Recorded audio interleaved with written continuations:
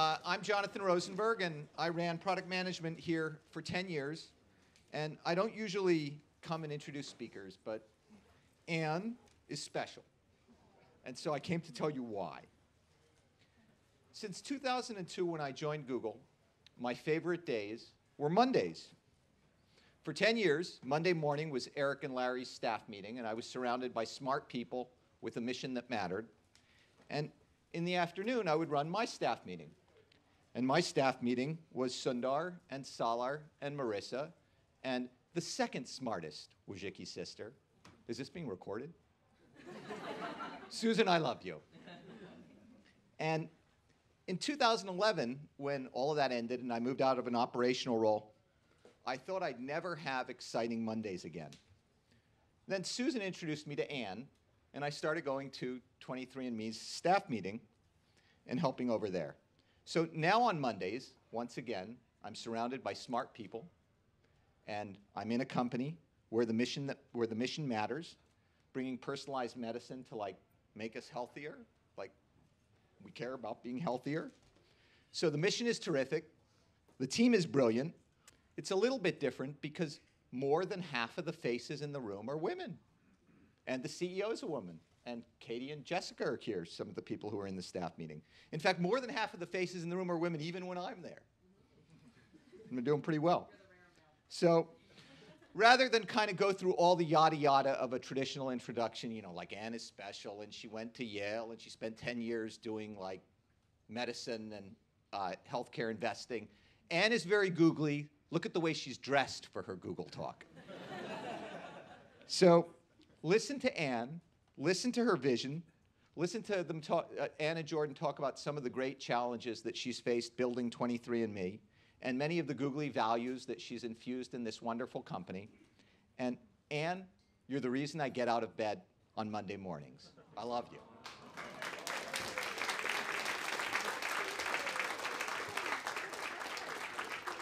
Okay, I'll turn things over to Anne and Jordan.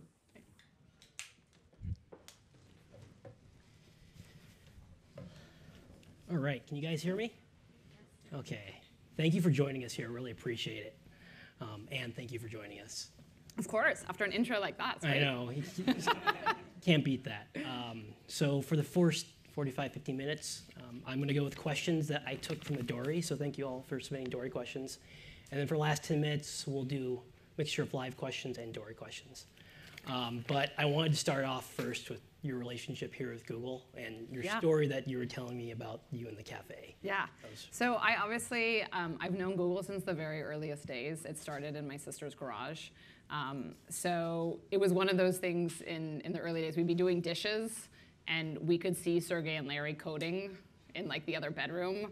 And I used to always say, I was like, it's really weird that you have these guys like just sitting in the other room coding while we're doing dishes. Like it was really unusual. Um, so obviously I've spent a lot of time at the company and I was saying how um, 23andMe used to have an office um, on Shorebird, so just around the corner. And we're, you know, like we're a startup, we're scrappy. And um, so it was very apparent that, you know, Google had a lot of food. So we used to make our way over here and you know, back when there was burritos right downstairs, um, there was great burritos, and so they're easy to carry. So I would walk over every other Thursday, and we'd have these team lunches, and I'd just get like 10 burritos.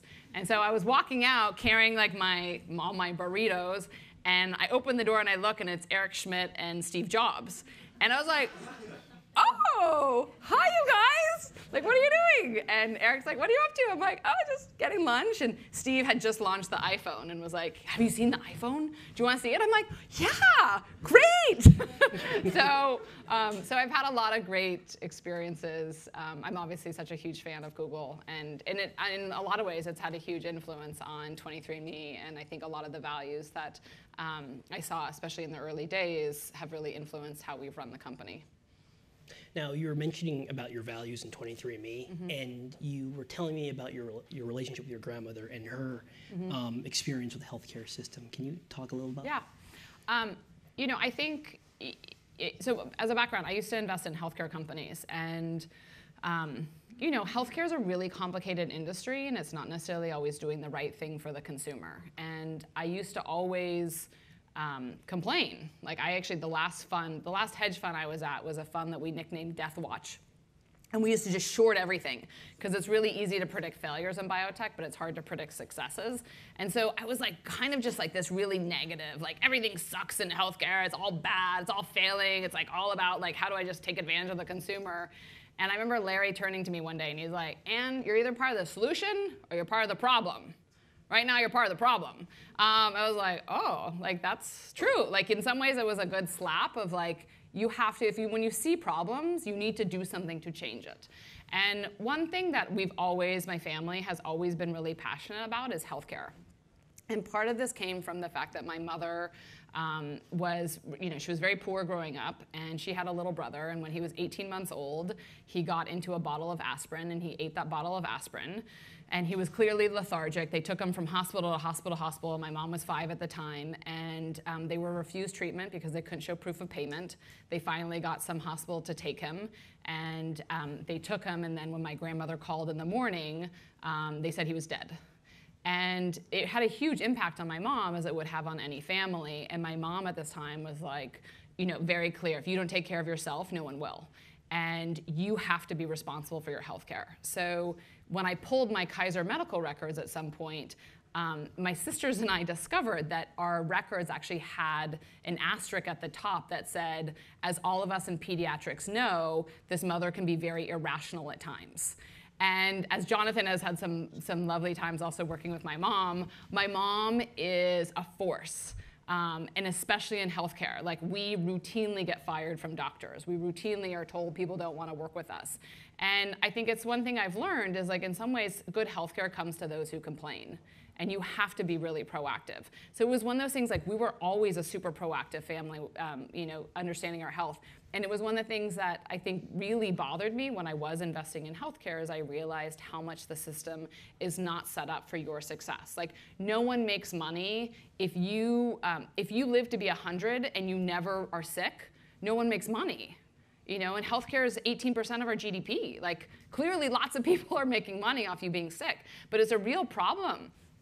And so a lot of my passion for 23andMe when I started the company came from how much I said, like, I want to do something that's genuinely right, that allows people to be active in their health and proactive the way my mother has always been proactive for me, and that she's taught me to be proactive with my health.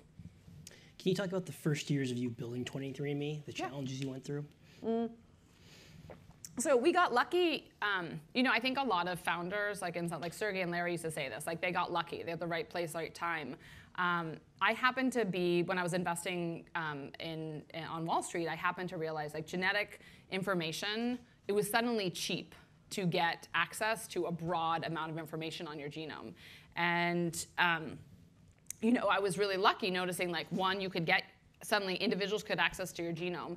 And then there was this whole convergence of like Web 2.0, like there's gonna be social networks and you're gonna find each other. And it was like hot, it was so interesting, and it was MySpace. And, um, and it suddenly realized um, one of the things that's a big issue in healthcare is there's a lack of data. So I like routinely, my sister, other sister does um, nutrition research, and routinely you look at those studies, and it's like 200 patients here, 200 here, and my dad, who's a particle physicist, would be like, anyone who knows about statistics knows like you can't find anything in this. Like you need lots of data. And clearly the Google world had taught me like the value of like lots of data and what you can do. Um, so I got lucky sort of with this idea of why do I need Stanford? Why do I need Pfizer to go and do all this research? I can just allow all these people to learn about their genome. Like, it's so cool, learn about your genetics.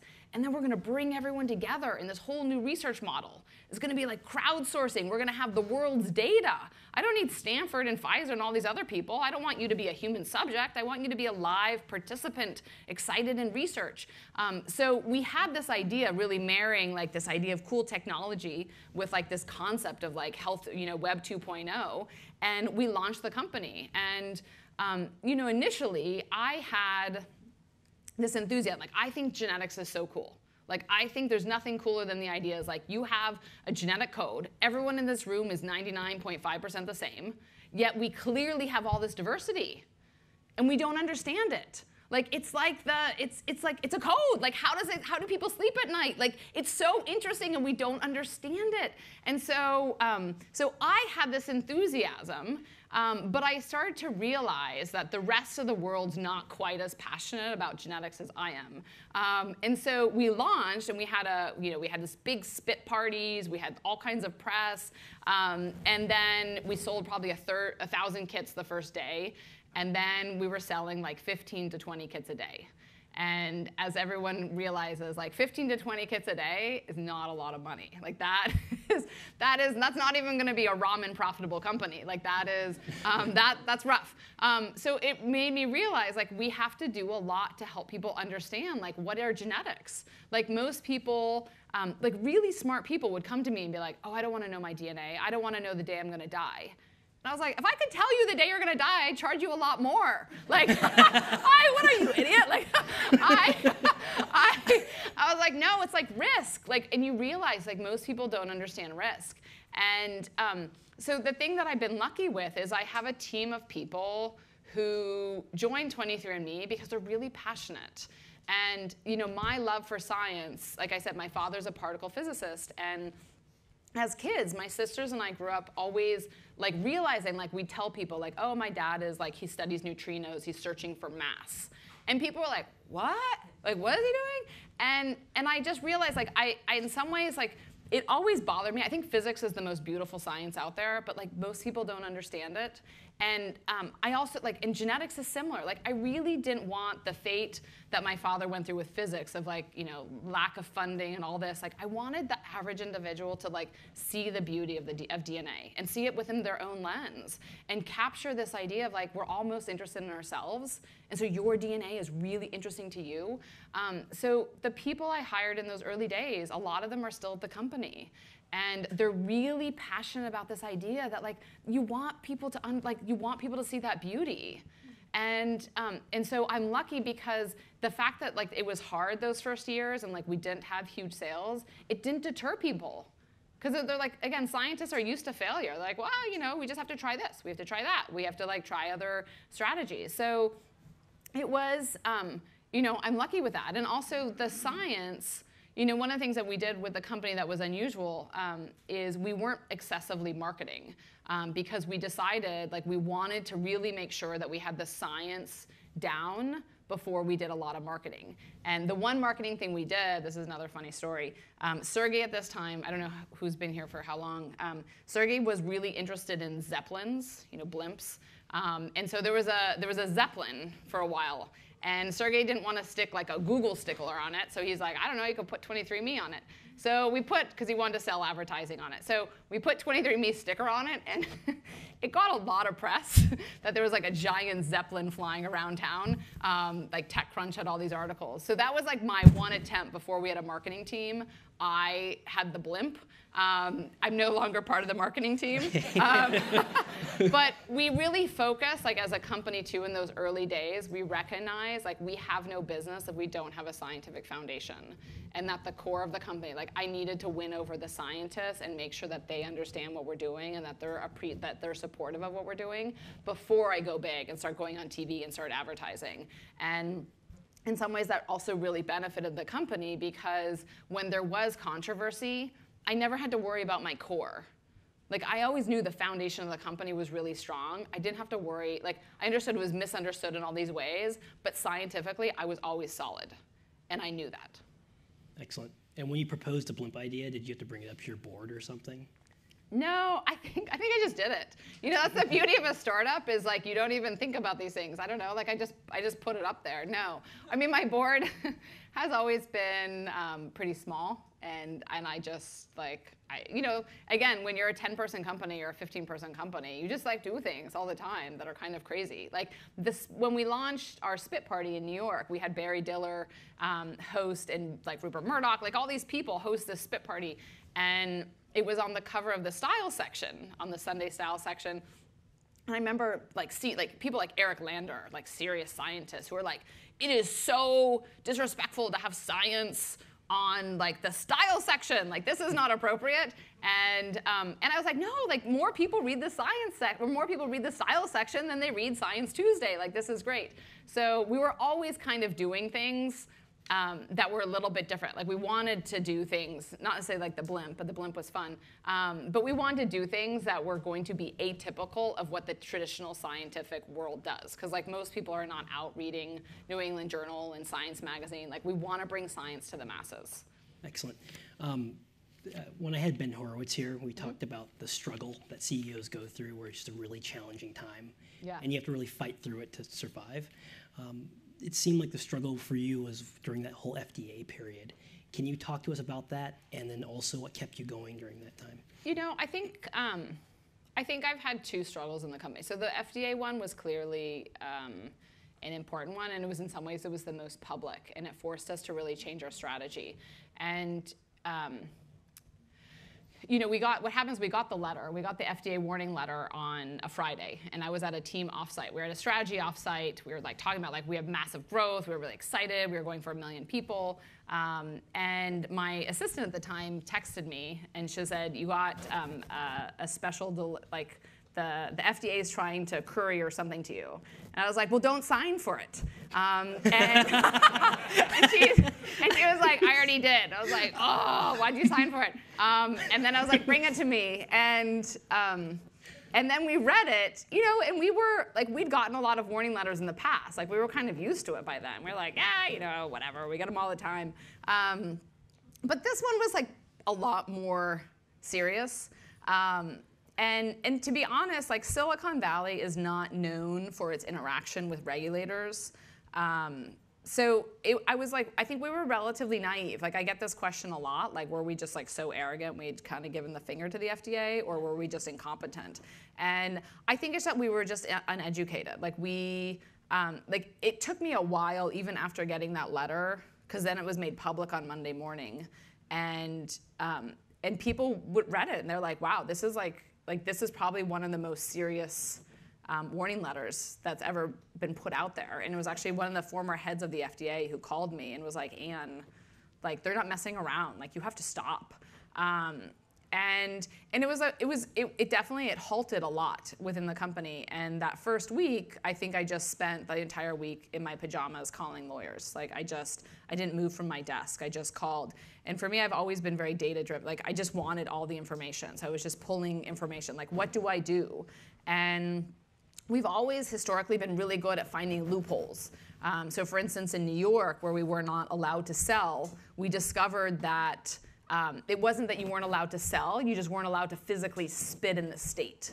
And I was like, that's great. People can spit in New Jersey. Um, and so we'd found kind of this loophole. Like customers used to have to attest that they had not physically spat in the state.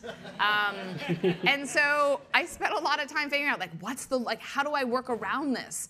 And to be honest, like one of the workarounds today is that you put what we call sort of a doc in the box. Like you have a telemedicine doctor where you just can call, uh, or sorry, it's just like they are kind of like on the back end, like you not even necessarily see it, and they order it for you. And when you have that, you can kind of circumvent, you can become a, a laboratory developed test. And there was one regulator in particular who um, I met with, and she goes, You know, Anne, like what you're trying to do is fundamentally really disruptive. Like you're trying to allow consumers to get direct access to care without having to go through a medical provider. And if you succeed in that, you can really have an impact, a real positive impact on the system. But doing that is not a workaround. It's hard work. Like either you decide you want to put your head down and you want to just like really get that work done, or you find if you want to sell this company in a couple years, like you do this workaround and you're just like whatever, you're just circumventing the system. But but you can change the system. And that conversation had a huge impact. And I said, I said, look, like I'm in it for the next, you know, I'm in it for life. So I'm willing to do the hard work. And you know, it took us, um, you know, from that moment, it was a couple years before we actually got our first approval. And the way we did it, people always ask, like, what'd you do? And in some ways, when you're in a hole like that, um, no one, tr- like the regulators did not trust us. And so the way that you win back trust, especially with an organization like the FDA, is they speak in data. Like you guys probably all work with people who like like they understand data. Like show us the data and like then we can make a decision. And so we did Um, you know, one of the other things I learned with the FDA too, um, I always tell my kids this, I learned obedience. Um, I learned that when you go to the DMV, you know, you don't argue about standing in line or you don't argue about doing a vision test. You just do it. You don't try to say like, oh, I just had one last week. Here's the report. Um, you just do it. And similar to the FDA, um, you have to recognize they sometimes know more than you do because they're seeing the whole picture, and you just do it. You like you negotiate, but you do the pro- you do what they ask you to do, and um, in some ways by showing that we could be obedient and we could follow directions and that we had the data to prove it. Um, and we had to change a lot of things within the company to be a regulated company. And there's a lot um, that we had to do from an engineering and product and design perspective to document how everything's happens. Um, and so, again, it's been a ton of work, but it's fundamentally made us a much better company because our processes are much stronger. Um, so it was um, it definitely was rough, and there was a lot of um, controversy within the company about whether or not this was the right path. And I think as a leader of the company, one of the most important things to do is to allow controversy, you know, allow people to have to voice their questions, like and voice it. Like I think Google is one thing I learned with Google is like you want to let people debate. Debate is really good, um, but once you make a decision, everyone's on board. And if you don't agree, then it's not the right place. Um, but we had we have a fair amount of debate, and before like we I encourage that as a leader. I encourage that debate, and then once we make a decision, and you can set a vision for the future and say, look, like we're we're trying to fundamentally change the system. We're like trying to empower consumers. Like my next thing, like why do you have to go and get a doctor's order to get a blood test? Do you always need it for a prescription? Like all these, like the whole, you know, um, patriarchal system. Like why do you actually need like, why do you need this physician or medical um, involvement before you can actually get some of this information? So we're really out for that bigger picture of like trying to change the system. So for your current offerings, you offer the ancestry test, and then you can get the health test. Correct. So for two years, we um, we just kind of we all we did was offer ancestry, and we focused on pulling out the health information. We've gotten we have three FDA approvals now or authorizations. So we have carrier status. Um, we have genetic, which is things like cystic fibrosis. We have genetic health risks, which is things like Parkinson's disease and Alzheimer's. Um, and then we have now the breast cancer variants, the three most common in Jewish women um, or Jewish individuals that we test for those variants. Um, are you planning to offer more extensive testing, like such as uh, metabolic imbalances and enzymes? Like what? Like because um, I have a, a, Googler asking, um, oh. his family members has chronic pain, and I think so. No, I mean we're focusing on DNA. Like if it's if it's a genetic variant of a test that we could detect, like we're focusing just on DNA right now. Um, so we definitely think about partnerships that we could do that would have um, you know, especially anything that we could do that's potentially at home, mm-hmm. um, where we could allow you to have at-home collection and think about other tests that you're getting. But right now, it's just focused. Like we're definitely looking to expand the, the tests that we're offering, um, but everything will be just based on genetics. Excellent. Um, so, given the large corpus of data you're putting together, mm-hmm. Um, are you? How have you been able to use this, like for promoting cures or new developments in the field? We do, so that was part of the hypothesis of the company is that if I collect all of this information and all of this data, can I then more effectively make discoveries, academic research discoveries, as well as can I translate this information into drug therapeutics? So the drug industry, again, when I was running this, this when I was investing in companies and running that fund that I called Death Watch, um, part of the reason why I could do something like that is statistically 90% of everything fails in biotech. So if 90% of everything fails, like you just short everything. Like there's like you don't have to do that much math for it. Like it was just like you can predict failures. Um, so in in the drug discovery business, it, the pharma lobbying group is the only group I know that like would actively promote every year how it's more and more expensive to create a drug. So like when I started investing, it was $700 million to make a drug, and today it's close to $3 billion. So it's only getting worse. So the idea with all this data is can I, in some ways, more effectively use this data to, to translate it into drug hypotheses, and then do I have a higher success rate for making therapeutics. So we are doing that now. We hired Richard Scheller, who was the head of research and development at Genentech. Um, we have over 10 programs in development now. We've been doing this now for three years. We work with a ton of pharma partnerships. Um, so we are actively trying to say, can you turn data into curative therapeutics. So we are actively working on that now, and my hope is like again because we're a scientific team, like I can say this is my hypothesis, and I, but I can't make any claims yet. But my hope is in 10 years I can come back and say like, look, here's our success rate compared to industry averages, and we believe that that success rate will come because we're starting with something that's data driven based on genetics. Now, is that possibly a new business model for the users of 23andMe also? Like, if I provide you with health data, it leads to some type of cure?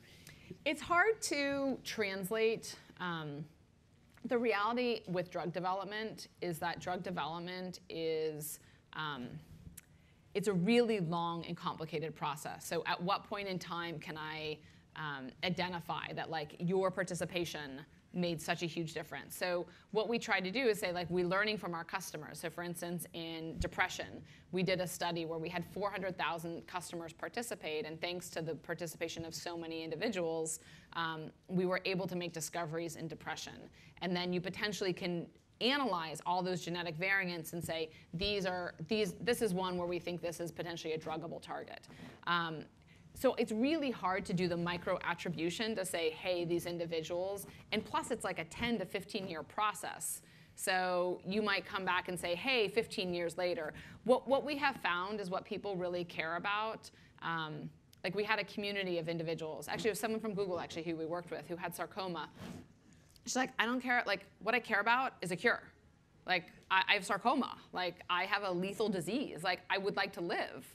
And um, I find people with serious illnesses like that, they care about two things. Like, does this impact my children? And I would like to survive.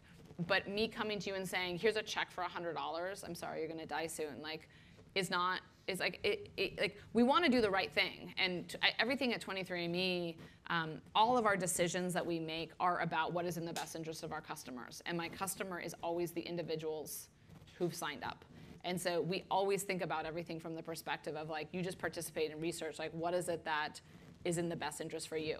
And if you tell me, for instance, that you have you have migraines and you have um, you know uh, you know Crohn's, well, we it's our job then to help you figure out the best ways that you can participate in research, or for us to actually move those things forward to have some kind of impact in your life and then you could potentially help be a control. There might be somebody here who's like, oh, I'm high, you know, I have a family history of prostate cancer and we have depression, and you can say, I can be a control for you, and in that way, everybody's actually helping each other. So it's hard to then point to, well, who exactly is responsible, because the reality, it's really a community asset. That makes sense. Um, for the survey aspect, when you're a member of yeah. 23andMe, they ask you questions.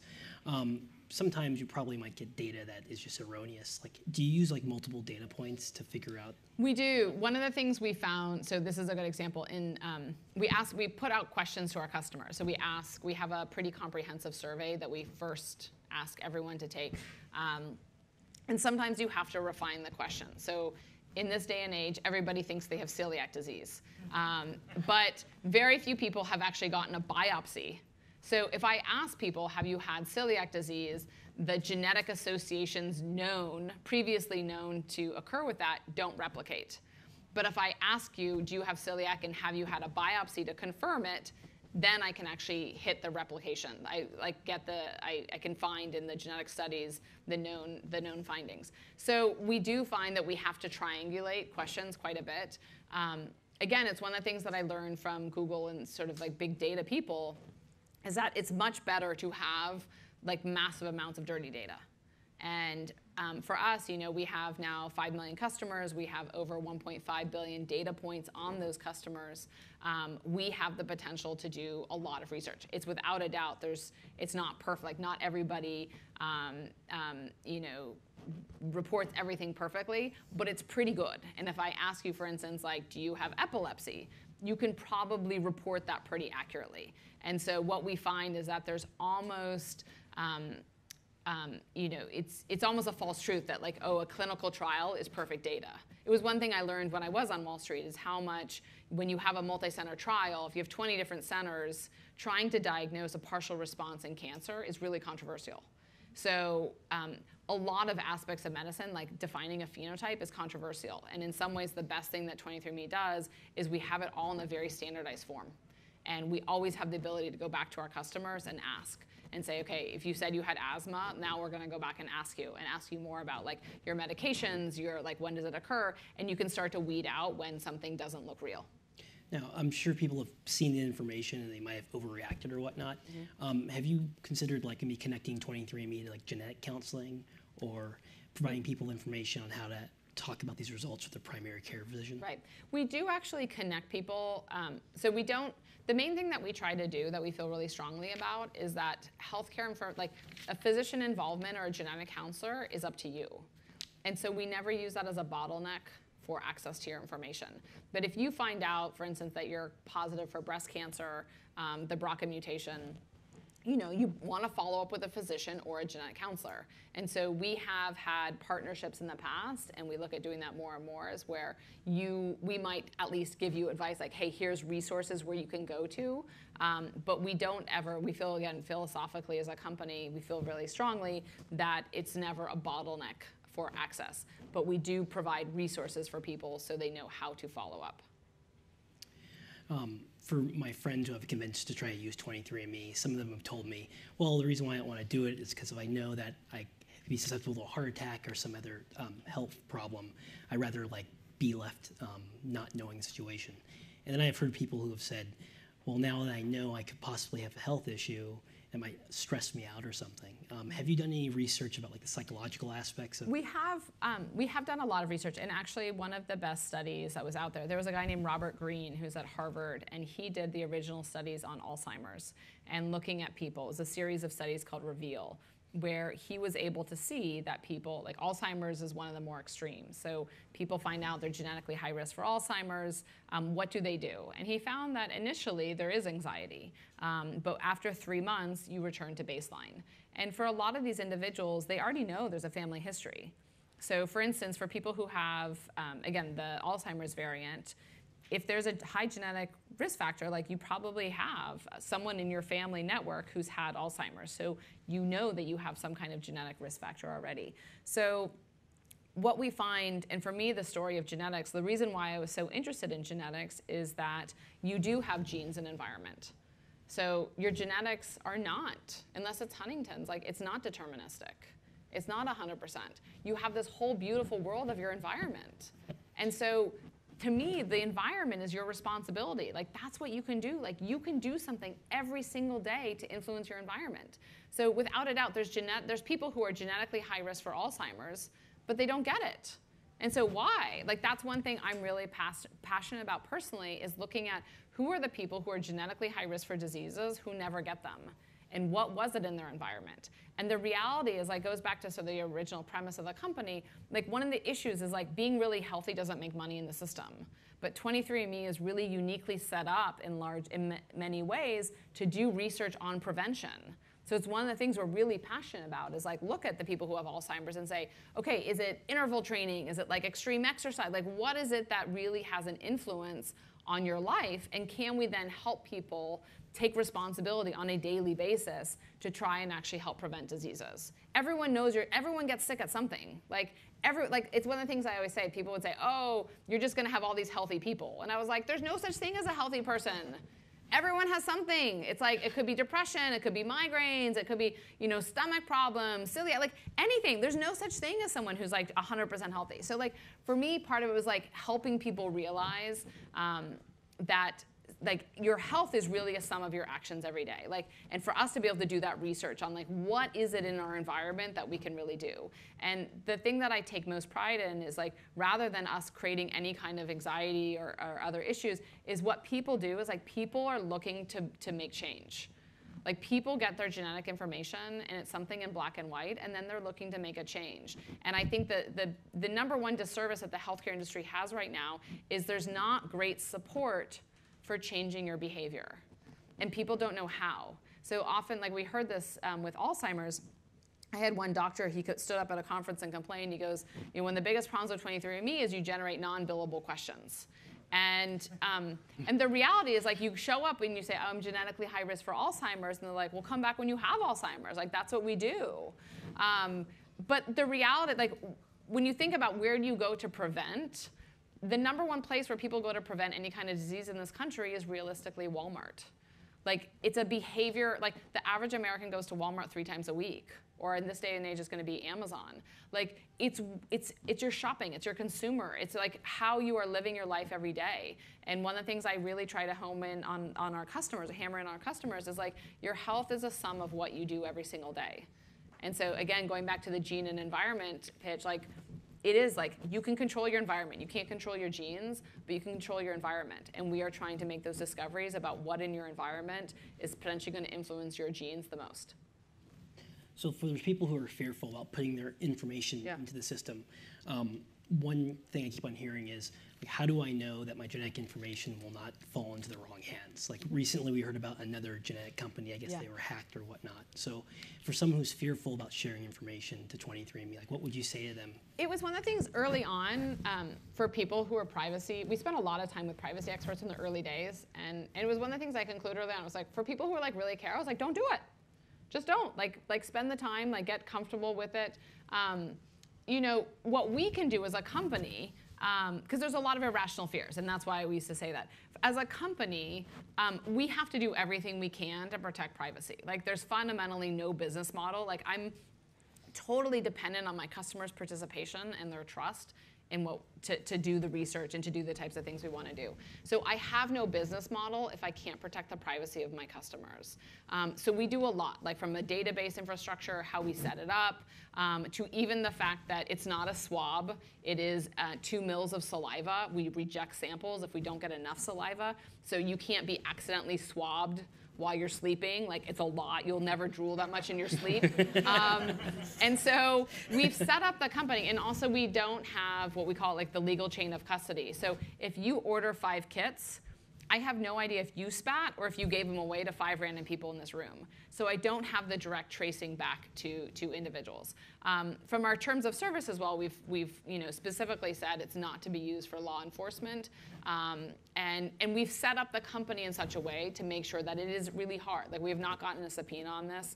We've put out a transparency report. Um, we would do everything we can to fight a subpoena. Um, it hasn't happened for us, but those are the types of things where um, for people who are really, really concerned, like just don't do it. Um, for people who like are comfortable with being on the web, um, we do everything we can to protect their privacy. Um, and one of the core elements, like one of the leading privacy experts, one of the things he taught me was like, look, Anne, what privacy people really want is they want choice, and they want transparency. They want to know. So if you're a 23andMe and you don't want to share your data, like don't share it. And we we have to respect that. So if you don't want to participate in research you don't have to participate. If you don't want to share your genetic data with me don't share it. Um, if you want to share it with you know five people in this room we allow you to share it. So we've given you a lot of controls and that's also one of the things that's relatively atypical in healthcare. Like if you wanted to share your medical record with me it would be almost impossible. Um, so we do a lot to make sure that we're like empowering people to have that privacy um, and then have also the ability to to compare when they want. One of the things I just say about there is like when when people in general talk about privacy. Um, like if I picked anyone randomly in this room, like I'm sure your genetics would be really interesting and I would love to see them, um, but your bank account is always much more interesting.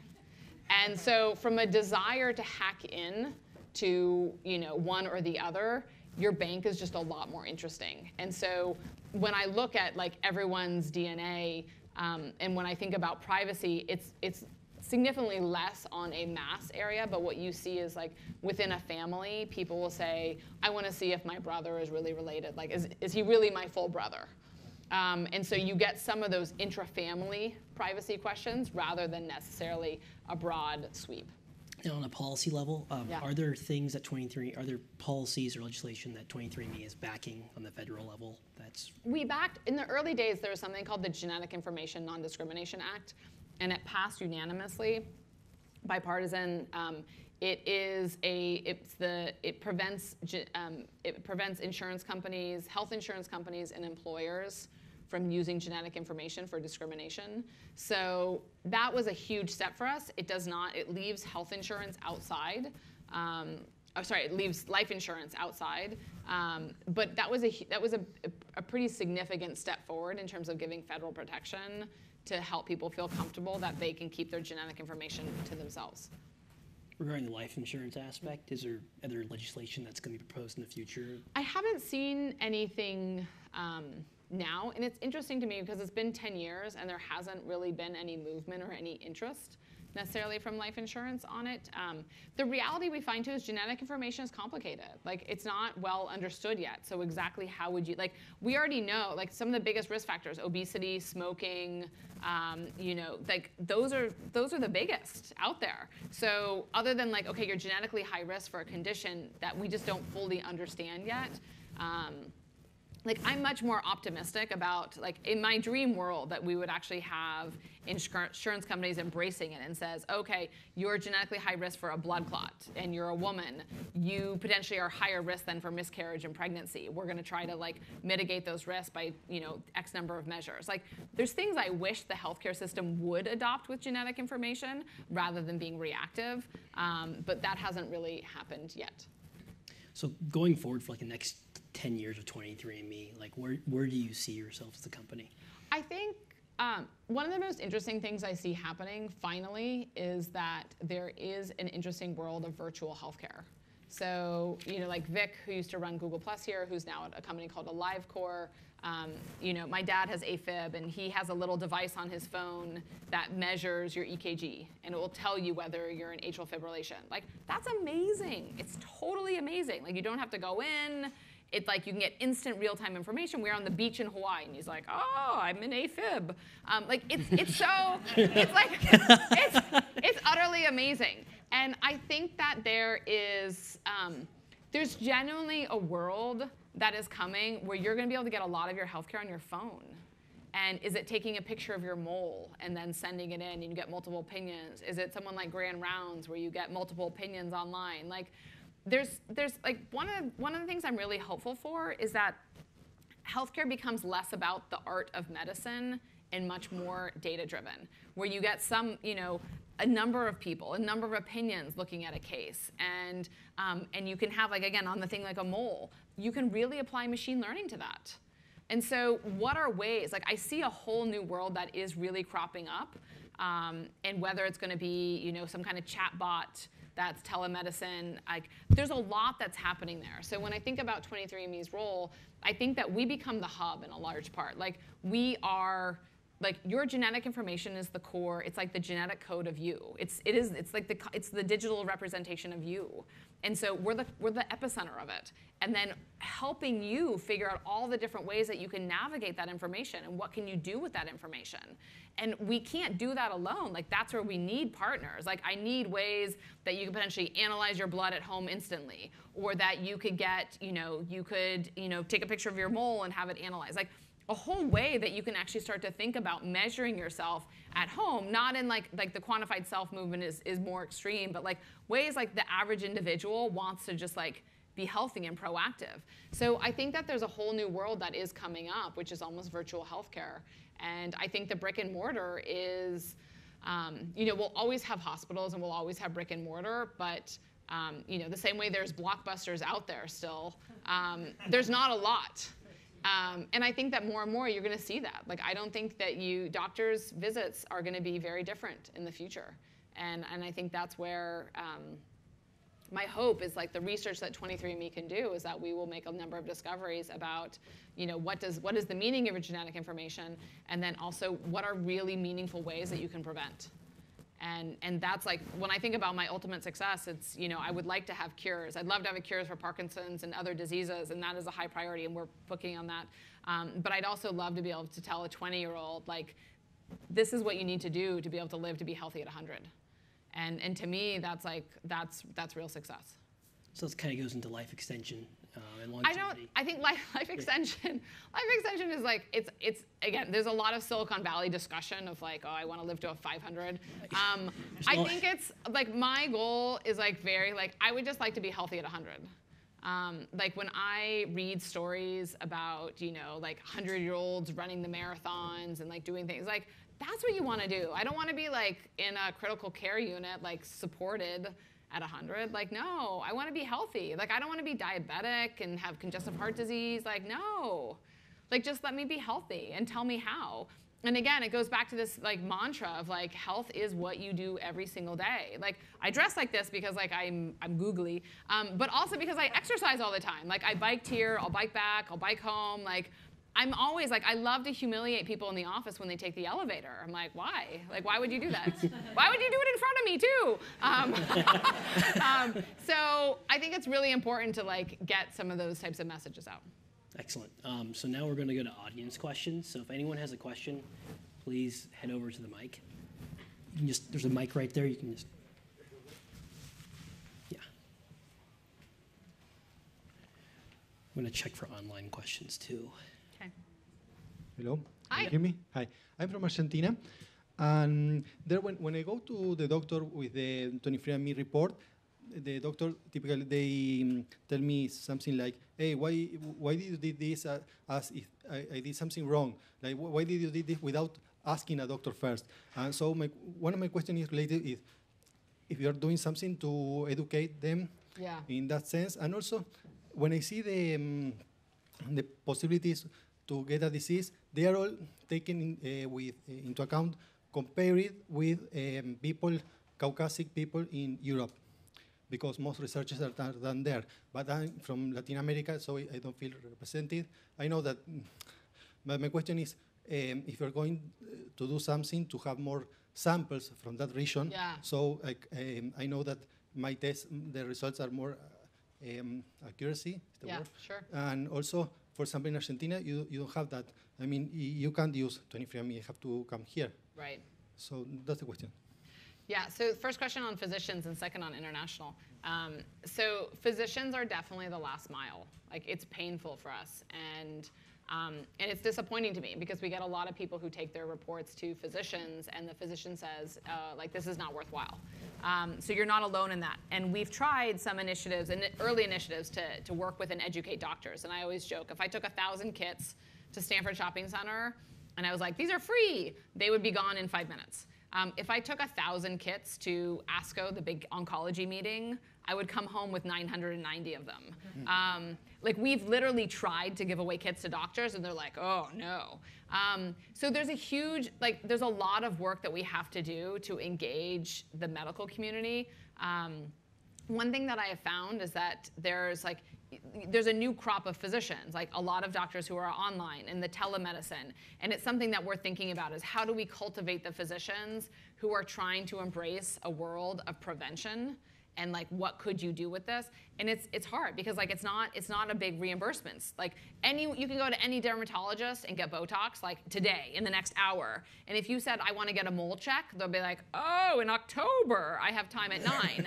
Um, so and that's because a mole check doesn't reimburse but botox is you know $300 in 15 minutes. So um, so I think that's where like we have a lot to do to try to work with the physician world. We're hiring someone like that's that's like a big initiative for me on the team is how do we engage the medical world.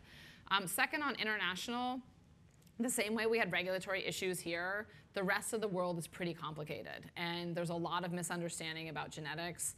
Um, so each country has laws about how to enter into those countries, um, and they're pretty complicated. It's almost like we just haven't had like I think a lot of startups fail because they try to do too much too early.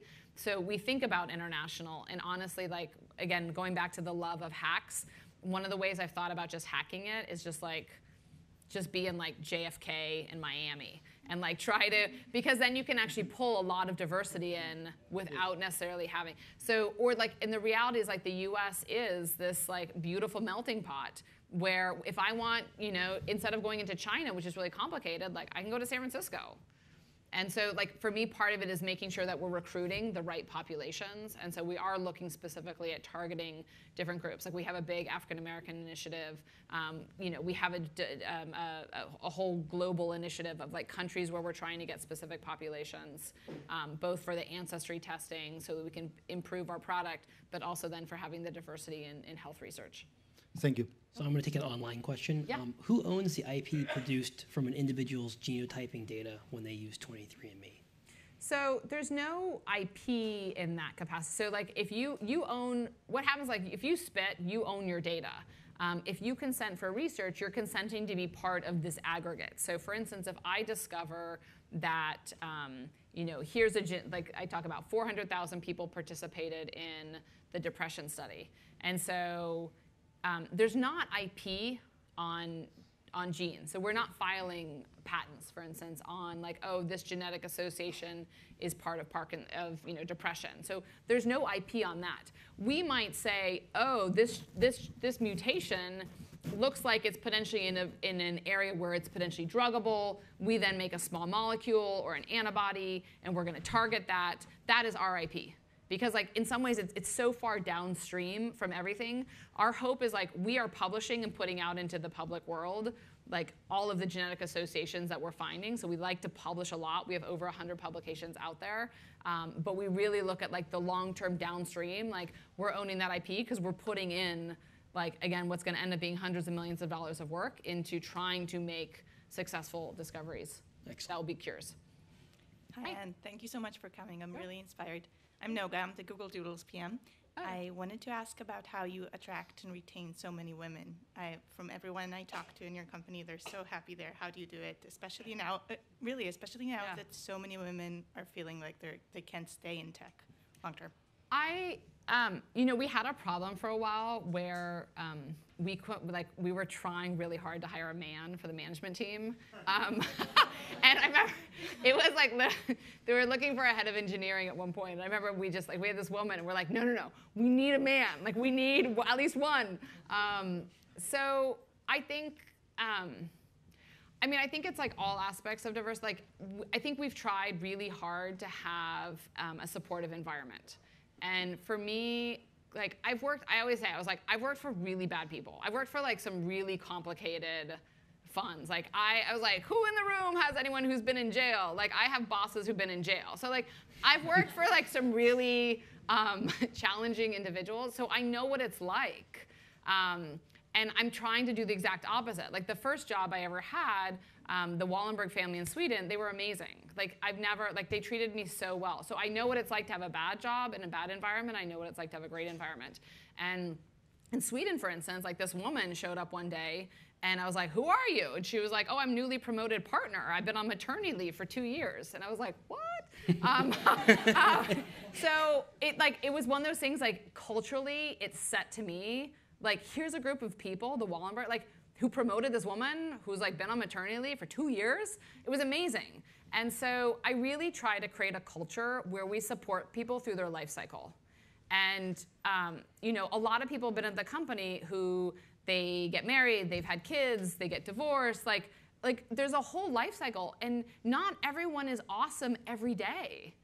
And so like you could be awesome for a while and then you have a kid and it's like and the kid's sick for a while and you have to take off time like i can't be the asshole boss that's like oh my god you're out. Um, like i have like i have to support people and i look at people for the sum of like i hope people stay for 10 years. And i look at people for the sum like what can you can you contribute in that in that period? And like how do we also support you? Um, we're really very much like your family is your family but like we're your family away from home and so like i have to support people in a good way and i have to listen um, and and i think it's like there's a level of humility. Like the number one thing we have for hiring is humility. Like, uh, like you need really smart people but like i just the culturally like y- y- you, you got to fit in with the humility and we have to support people. Thank you. You're welcome. Hey, thanks for doing this. of course. Um, so, I know there might be some liabilities associated with the idea I'm about to mention, but is there some time when this would be an opportunity finding tool as well that your DNA seems like you would be perfect for pole vaulting? So, you know, practice away. uh, Way to I recruit think, MBA talent. um, you know, I don't know if we'll ever get down to those types of specifics. Like, I think, um, um, you know, I think that there's like for sprinting, you know, there's genetic variants associated with like, do you have the double twitch? Um, will it ever refine enough to be able to say, like, oh, you know, you're really great at this specific sport? I think again, it goes back to the world of genes and environment. Like, you you you need passion to be great at anything. You need passion. Like the the the most important aspect for me out of that movie Gattaca was that this guy has a genetic like he's genetically not likely to survive for some reason but he has the passion and like passion accounts for so much. Um, so I think without a doubt, you'll hear things like if you are, we did some research at one point on um, um, y- like being toned or like having a, a, a musical ear. And you know, you could imagine at some point, like, would you say, okay, like, hey, you know, you're just not like you just if you want to be a pianist, you're gonna have to work that much harder. So I think it's you know we and we're the, like we did a study for instance in weight loss. Like we my hope one day is to be able to say if you're overweight, you it's only going to take you four weeks to lose weight. You it's going to take you seven weeks. Like you're just genetically more likely to not be able to lose that weight. And I think that's where it will help people not say not know like oh you're not going to be great at this, but like you just might have to work harder. Instead of the famous 10,000 hours, you need Yeah. 12,000 hours. Cool. Thank you. Okay. Hi, thanks for coming. This is very interesting. Um, so I was wondering, I noticed that, I mean, so there's 23andMe, but there's also lots of other, um, lots of other sort of similar con- um, companies. So if you're looking at sort of ancestry, Yeah. you get to link and find out your relatives who are with 23andMe. But then there's people who are with other companies. It seems like everything's kind of siloed. Have you thought about talking to other companies and seeing if there are ways that you can connect across each other's databases to help people find relatives? Yeah, I think um, with other companies? We did a promotion, for instance, on DNA Day where we allowed people from Ancestry.com to upload their data. Um, you know, the companies are pretty competitive right now, so there Yeah. hasn't um, been any specific initiative to like try. Like you can always download and I think upload. Um, so, so no, I mean, I, it's, it's a problem. Like, it's not Yeah. in the best interest of customers for No. sure to not allow. Like, I would think that that would actually be something that's great. But like, I think there's a lot of competition right now, so that hasn't that hasn't happened. Um, but without a doubt, like we know that people who are looking for family members oftentimes will do both services. Yeah. Hmm. Okay. Thanks. So, and, and again, we might do more in the future. Um, and in some ways, this goes with some of the privacy issues. Like we had, um, so again, for, you talk about the Golden State Killer. Like one of the things that's important for us to do from a privacy perspective is not allow um, relative matches from DNA that's uploaded. right. Because if you allow that, then you open up the door for things like the Golden State Killer. And so we had, like, for instance, when we did this promotion with, um, you know, anyone could upload their DNA from other places, we would tell you if there was someone within your close circle, but we wouldn't identify who it is. And we did that, and you would have to spit again then. And we did that specifically so that you, like, from a privacy perspective. We think a lot about privacy. Cool. Thanks. Okay. Uh, hi. So say I submit my uh, spit, and then I get it back, and then it tells me about um, like my ancestry and uh, well my health prospects. Um, say I have like a like what would be like? Is there a way I could prevent myself from having like cancer in the future? Like just off of that? We don't have, so the, the, the cancer report we have right now is the breast cancer report that is associated with um, typically, you know, Ashkenazi Jewish descent, and, um, and it does have a high penetration of cancer. So, meaning like those people are likely to get cancer. What we found people have done is they go and they get either mastectomy or they take out their ovaries. Um, so there's ways that you can potentially, like it's extreme to prevent. Um, you know, the other thing that's out there is there are, for instance, there's people who are genetically high risk for colon cancer. And in that capacity, you know, right now I think the recommendations are col- colonoscopies at 45. In that case, you could start having colonoscopies earlier. So a lot of it, there's not necessarily known specifics about, okay, if you want to prevent cancer, these are the things that you do. Um, in every disease area, you can say, you know, don't smoke, exercise, and um, eat better. And what we find that having something that is a risk factor in black and white in your DNA motivates people to actually do all those things. But those are the biggest swing factors you have always is your exercise and your diet and your environment. Okay. Thank you. Okay. Hi, my name is Yulia, and I'm an intern in Google Brain Genomics. Mm. And looks like Google is also looking into like genetics and predicting disease from from genetics, and also connecting it to healthcare. Yeah. I know that also Microsoft is looking into um, healthcare and genetics.